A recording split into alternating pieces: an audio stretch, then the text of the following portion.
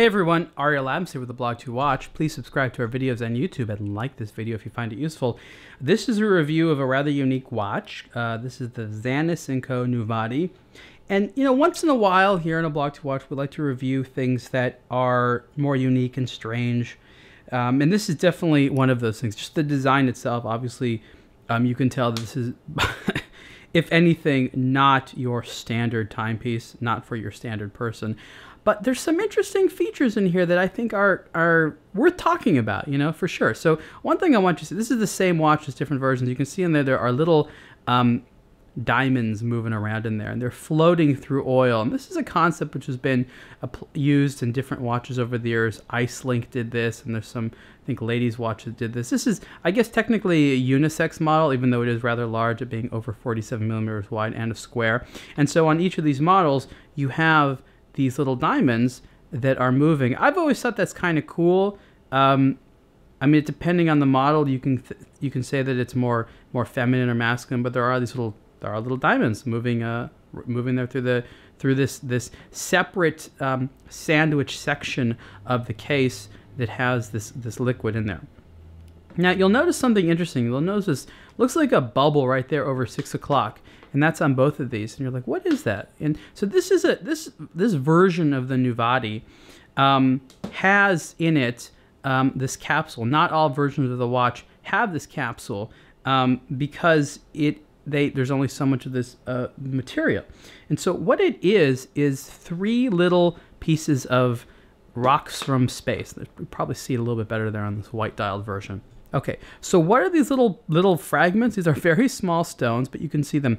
One is a quote unquote space gem, so it's some type of maybe quartz or some type of crystal that was found in some type of a meteorite. Um, another is a small piece of rock that has been established to be from the moon. And another is a small piece of rock which has been established to be from Mars.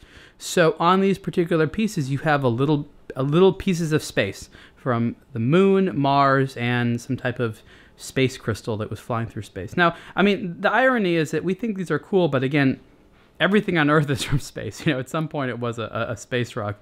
But, you know, in the same vein that like meteorite dials are cool, um, this is kind of a neat little thing. It adds a little emotional factor there. Um, and it's, um, I don't know. I just thought it was kind of interesting because I like this is not the type of watch I ever would assume would have like a space angle to it, right? Because there's nothing particularly spacey about it. Um, on the wrist, I mean, it's a pretty big uh, watch. This is a steel case here, um, and you can see what that looks like there. Let's put that on. There you go. I mean, it's um, you know, it's it's a big square watch. Um, inside is a Swiss quartz movement, nothing fancy there. Um, and then you have this this stuff moving around on the dial. It, it, it's fun. It's a unique design. It's it, it's kind of you know silly, but also you but also um, has some interesting elements to it. And um, you know, is this the type of thing I would recommend someone wear on a daily basis? No, but you know, for those people that aren't what I would say traditional watch people, like they don't have to wear like a mechanical movement and they don't need something with like a lot of history, but they want something unique and kind of out there. It's definitely an attention getting watch and it has, you know, the little sparkly elements. Come on, diamonds, move. Ah, they're moving. Okay.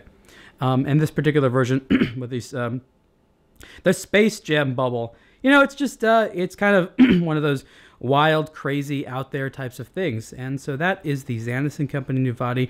These are limited editions. Um, there are versions without the stones that I think are less money, but clearly, if you're going to go this way, you, you need to get the ones with the space stones. That's just that's just all there is to it. Retail price is one thousand one hundred ninety-five dollars. I think there's a, a sale going on at the time of this um, review, but I don't know how long that will last for. So yeah, it's a little bit more pricey, but you do have the diamonds in there and you do have the space stones. So I think it's interesting timepiece. Not the most expensive thing in the world, and definitely a, a unique uh, composition of elements. And you can see more on the blog to watch soon. Thanks.